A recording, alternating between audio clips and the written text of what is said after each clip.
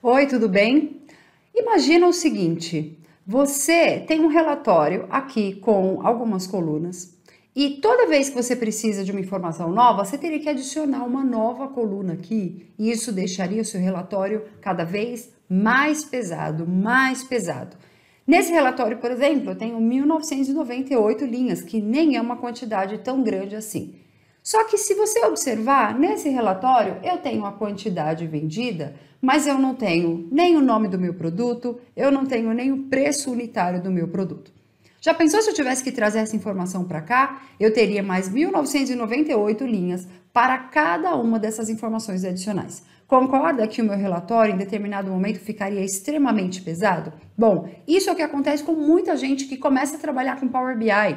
Eles simplesmente trazem colunas e colunas e colunas, e aí chega uma hora que o relatório simplesmente não roda, fica extremamente pesado. Por quê? A melhor forma da gente trabalhar com o Power BI é com a menor quantidade de linhas possível. Então, para isso, a gente precisa trabalhar com o conceito de tabela fato e tabela dimensão.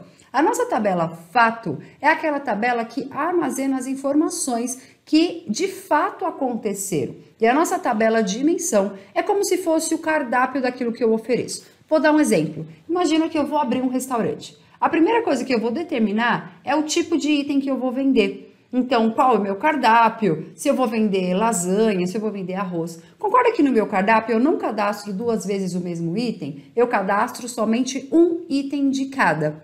Isso é o que a gente chama de tabela dimensão. Então eu tenho aqui, por exemplo, uma tabela dimensão, por isso que ela chama de produtos, mas ela poderia ser de produtos. É, enfim, cada, cada empresa trata de uma forma, mas de fato é uma tabela dimensão. Então eu tenho um código do produto, eu tenho o nome do produto e o preço do produto. Somente isso já é suficiente para que eu construa a minha análise aqui dentro do Power BI. Eu não precisaria repetir o nome do produto cada vez que ele foi vendido, nem o preço cada vez que ele foi vendido. Por quê? Aqui no Power BI, diferente do que a gente está acostumado no Excel, a gente não precisa trazer todo mundo para a mesma base. Este espaço aqui embaixo, que é a etapa do modelo, é a etapa em que eu simplesmente digo para o Power BI: olha, Power BI, aquele código de produto lá se relaciona com este código de produto que eu vendi da minha fato.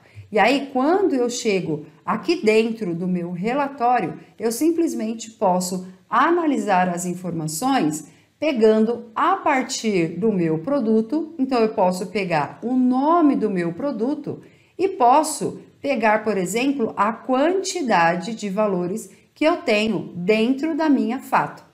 Já que cadê?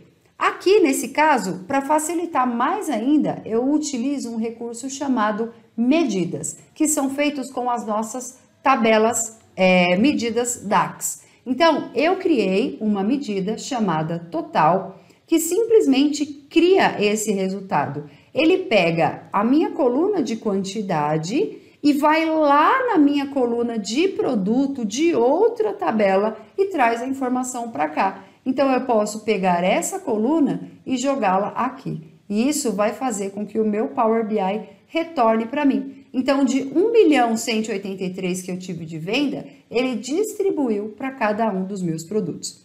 Eu não vou entrar no detalhe da DAX aqui nesse vídeo, porque senão ele vai ficar muito complicado. Mas é importante, principalmente se você já está trabalhando com a DAX, que você crie sim as suas medidas, crie as suas tabelas de dimensão e que você faça as suas análises juntando as informações da dimensão com as medidas da sua tabela de medidas. Combinado? Essa é a melhor forma de você trabalhar e ter o seu relatório cada vez mais leve, se for isso que está acontecendo aí dentro da sua empresa.